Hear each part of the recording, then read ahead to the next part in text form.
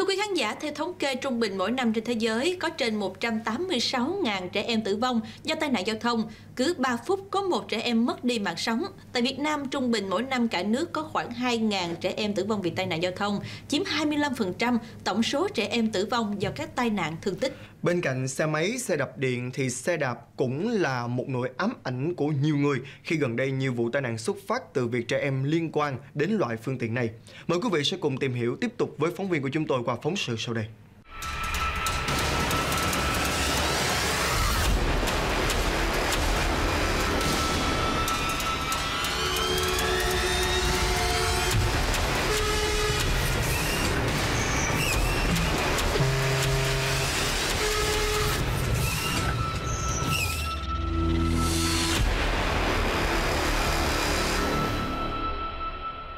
Xe đạp, một phương tiện giao thông được xem là khá an toàn. Thế nhưng trên thực tế đã có không ít tai nạn đáng tiếc xảy ra, không chỉ với trẻ nhỏ mà còn cả với trẻ trong độ tuổi vị thành niên.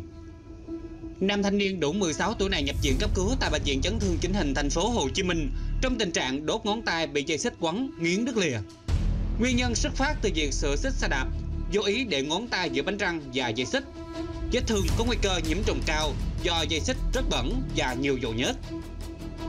Còn đối với trẻ nhỏ, chỉ cần người lớn lơ là một chút, trẻ có thể tự đùa giỡn với xe đạp và xảy ra các tai nạn như bị kẹt tay, kẹt chân vào dây xích hay cầm xe. Nhẹ thì gây trầy xước ngoài da, nặng có thể dẫn đến đứt lìa các chi. Bên cạnh đó, tình trạng nhiều em nhỏ vô tư điều khiển xe đạp trên xa lộ quốc lộ hiện nay cũng tiềm ẩn nhiều nguy cơ chết người. Hình ảnh được ghi lại bởi camera hành trình cho thấy bé trai này bất ngờ băng qua đường khi chiếc xe container vừa lao tới rất may tài xế phanh gấp đánh lái kịp thời nên không xảy ra tai nạn đáng tiếc. Còn đây là hình ảnh được ghi lại cách đây không lâu khi chiếc xe khách đang di chuyển với tốc độ 23 km/h thì bất ngờ một em nhỏ chạy xe đạp từ trong hẻm lao ra giữa đường, kết quả bị cuốn vào cầm xe. Đây là những trường hợp may mắn chưa xảy ra tai nạn nghiêm trọng, tuy nhiên cũng khiến cho người tham gia giao thông phải rùng mình lo sợ trước sự lơ là bất cẩn của trẻ nhỏ khi điều khiển xe đạp lưu thông trên đường. Hiện nay về luật giao thông đường bộ cũng như các văn bản hướng dẫn thì không có quy định giới hạn về độ tuổi tối thiểu cũng như tối đa à, điều khiển phương tiện giao thông là xe đạp lưu thông à, hay tham gia giao thông. À, do đó thì ở hiện nay thì à, à ai có thể điều khiển được à, cái độ xe đối với phù hợp với lứa tuổi an toàn cảm thấy phù hợp mình có thể tham gia được thì hoàn toàn có thể tham gia giao thông. Xe đạp được xem là phương tiện tham gia giao thông thân thiện với môi trường và tương đối an toàn. Hơn nữa có nhiều lợi ích về mặt sức khỏe nếu sử dụng đúng cách. Tuy nhiên, việc để trẻ nhỏ điều khiển xe đạp với mật độ phương tiện qua lại đông đúc cũng đồng nghĩa sẽ có nhiều nguy hiểm trình rập, tai nạn có thể xảy ra bất cứ lúc nào. Khi mà trẻ quá nhỏ điều khiển xe với kích thước quá lớn thì sẽ có những nguy cơ như thế nào ạ? Thì um, trẻ nhỏ mà sử dụng cái xe đạp mà lớn quá thì chắc chắn là nó có bốn nguy cơ cái thứ nhất đó là các bé sẽ điều khi mà sử dụng nó thì đường đầu tiên đó là à, cái cỡ quá lớn so với lại cái thân hình của bé thì đó là một cái nguy hiểm. À, dễ bị té này té rồi ngã rồi này kia. Cái thứ hai đó là à, cái xe nó quá lớn thì cái cánh tay của các bé nó quá nhỏ nó ngắn nữa. Do vậy cho nên là khi mà sử dụng xe lớn ngoài quá cái kích cỡ của trẻ thì nó sẽ gây nên một cái hiện tượng đó là các em phải trồm đến à, mà trồm như vậy thì khi mà gặp những cái sự cố ví dụ chúng ta gặp ổ gà này hoặc là gặp những cái chướng ngại vật chẳng hạn thì lúc đấy là các bé sẽ dễ bị té. Và cái thiết điểm thứ ba đó là um, khi mà sử dụng như vậy thì cái khi mà quá trình vận hành cái xe thì nó sẽ dễ bị lọng cộng và dễ bị té. Và cái điểm thứ tư đó là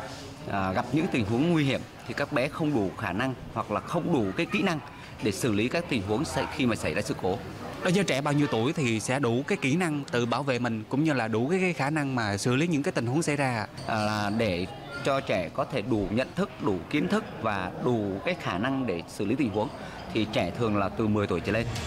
Nhưng trên thực tế, không khó để bắt gặp hình ảnh các em nhỏ sử dụng xe đạp để di chuyển trên đường phố từ quốc lộ, huyện lộ đến những vùng nông thôn. Ở trong quê mà thấy ờ, cho con cháu đi xe đạp và để cho nó đi chứ chẳng hạn như đi học mình cũng tiện rồi ờ, đi tiệm đi đây đi đó mua gì cũng tiện.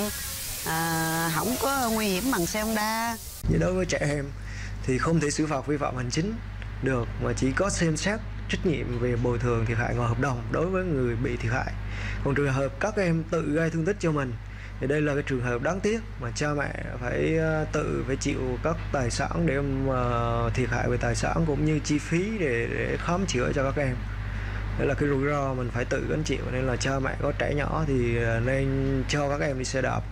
thì mình có thể lựa chọn những cái không gian nó phù hợp cũng như là có sự giám sát của cha mẹ để tránh trường hợp những cái sự ờ, cố tai nạn đáng tiếc nó xảy ra đối với trẻ và người khác. Theo các chuyên gia tâm lý, để quyết định có cho con trẻ đi xe đạp hay không, phụ huynh cần lưu ý tới các yếu tố như tình trạng giao thông, tính cách của con trẻ. Nếu con bạo dạn tự tin, có khả năng xử lý tốt các tình huống thì có thể yên tâm. Ngoài ra, phụ huynh cũng cần dạy con các kỹ năng phòng tránh các tình huống xảy ra như hỏng xe, các kỹ năng tham gia giao thông để tránh xảy ra những tai nạn đáng tiếc.